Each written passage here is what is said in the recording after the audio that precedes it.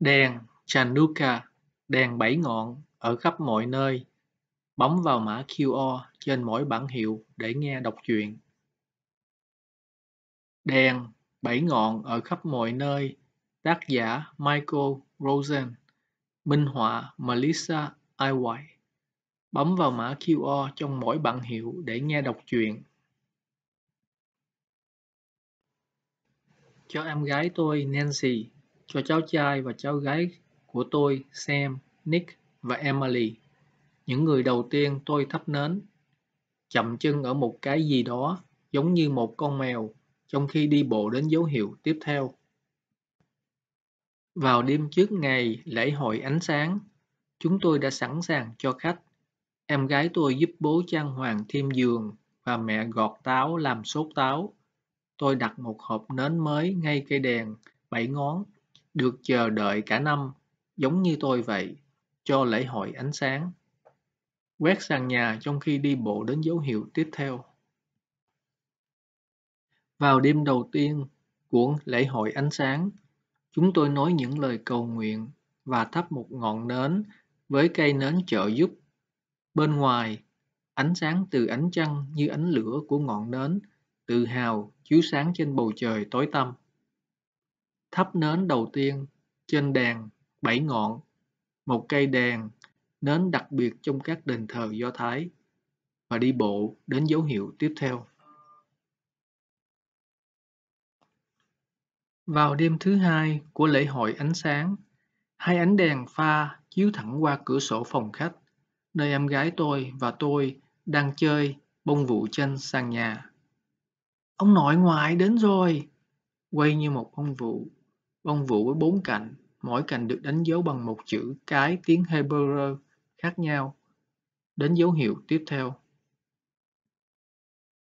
Vào đêm thứ ba của lễ hội ánh sáng, Tôi bật đèn ở phía trước để anh em họ của tôi đến thăm có thể tìm thấy cửa nhà của chúng tôi. Và đột nhiên có thêm ba ánh sáng giống như trong cây đèn bảy ngọn của chúng tôi. Bật và tắt đèn trong hiên nhà khi đi bộ đến dấu hiệu tiếp theo. Vào đêm thứ tư của lễ hội ánh sáng, tôi tìm thấy bốn ánh sáng trong nhà bếp.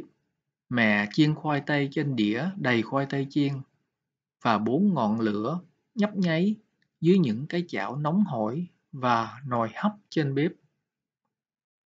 Lạc laquette là một loại bánh kép khoai tây trong khi đi bộ đến dấu hiệu tiếp theo.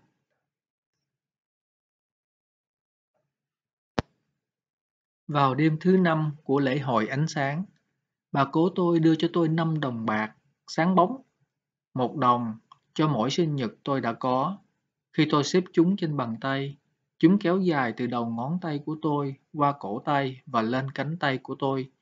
Chúng lấp lánh như năm ánh sáng, trông như những ánh sáng của nến. Ôm ai đó hoặc chính bạn và đi bộ đến dấu hiệu tiếp theo. Vào đêm thứ sáu của lễ hội ánh sáng, gia đình tôi đi dạo trên những con đường phủ đầy tuyết và đón xem sáu ngôi nhà khác có cây đèn bảy ngón lấp lánh trong cửa sổ của họ. Nhìn xung quanh tất cả các ngôi nhà trong khi đi bộ đến dấu hiệu tiếp theo. Vào đêm thứ bảy của lễ hội ánh sáng tại nhà của người bạn thân nhất của tôi, nơi anh ấy ăn mừng Giáng sinh, đèn một ngọn, sáng trong mỗi cửa sổ, tất cả là bảy, giống như trong cây đèn bảy ngọn của chúng tôi tối nay. Cha nói rằng Lễ hội ánh sáng cũng nói về niềm vui của các tôn giáo khác nhau chia sẻ trên đường phố. Nhảy với bạn bè của bạn đến dấu hiệu tiếp theo. Vào đêm thứ 8 của lễ hội ánh sáng, tôi tìm thấy tất cả 7 ngôi sao trong chòm sao lớn, cộng với ngôi sao phương Bắc nổi tiếng phía trên chúng tôi. Như thể chính Chúa cũng đã thắp sáng cây đèn, bảy ngọn của Ngài trên bầu trời. Nhìn lên bầu trời, sau đó đi bộ đến dấu hiệu tiếp theo. Vào đêm thứ 9, mà thậm chí không còn là lễ hội ánh sáng nữa, và cũng như đêm hôm sau, và thậm chí cả ngày hôm nay, tôi vẫn thấy những điều nhắc nhở tôi về cây đèn bảy ngọn của chúng tôi. Và tôi nghĩ về lễ hội ánh sáng và là người Do Thái, trong một thế giới rộng lớn của rất nhiều ánh sáng khác nhau. Nhảy theo dấu hiệu tiếp theo. Một ghi chú về cây đèn Chanukka, đèn chín ngọn. Chanukka còn được gọi là lễ hội ánh sáng, kỷ niệm một phép lạ. Từ lâu khi cây đèn menorah, đèn bảy ngọn, còn đốt dầu thay vì sáp nến. Một nhóm nhỏ người Do Thái đã chiến đấu với đội quân hùng mạnh của vua Antiochus. Nhà vua ra lệnh cho người Do Thái từ bỏ tôn giáo và thờ phượng thần tượng của ông. Khi họ từ chối, ông đã cố gắng chinh phục họ, phá hủy ngôi đền thờ của họ giữa trận chiến. Thật ngạc nhiên, người Do Thái đã chiến thắng quân đội của nhà vua. Cuối cùng, khi họ trở về ngôi đền đổ nát của họ, cây đèn dầu nhỏ vẫn còn thắp sáng. Cây đèn bảy ngọn thiên liêng của họ.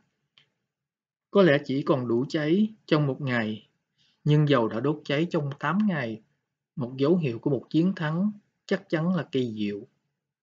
Ngày hôm nay, cây đèn menorah đèn bảy ngọn của chúng tôi có 9 ngọn nến. Ngọn nến trợ giúp được gọi là ánh sáng phục vụ từ phải sang trái. Tám ngọn nến khác mà mỗi ngọn nến kỷ niệm một ngày. Rất lâu trước đây, cây đèn thiên liêng được thắp sáng bằng dầu. Trên khắp thế giới, người Do Thái thắp sáng đèn chín ngọn không chỉ để tượng trưng những ngọn đèn trong đền thờ, mà còn là hiến dâng bản thân cho đức tin về phước lành được ban qua bảy ngọn đến. Phước lành cho bạn, Chúa là Chúa, vua của vũ trụ, đã truyền lệnh cho chúng ta phải thánh hóa ánh sáng đèn bảy ngọn. Hãy nghĩ về phép lạ của Chanukka, đèn chín ngọn, hoặc Hanukkah, lễ hội ánh sáng, và đi bộ đến dấu hiệu tiếp theo. Cảm ơn quý vị đã tham gia. Nếu quý vị thích chuyện này, hãy xem tiếp những chuyện khác tại Reynolds Nature Reserve, International Park, Chester Creek, Headquarter Library. Gerald Matthews Complex. Đặc biệt cảm ơn Trung tâm Quốc tế CCPS đã hỗ trợ phần dịch thuật. Hãy đăng tải hình ảnh nhóm của quý vị lên trang mạng Instagram với mã và thẻ